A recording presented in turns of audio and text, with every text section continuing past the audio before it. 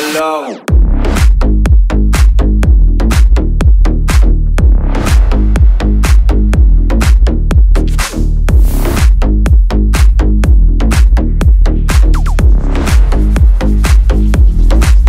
Alors, qui dit études, dit travail, qui dit taf, je te dis les thunes, qui dit argent, qui créance.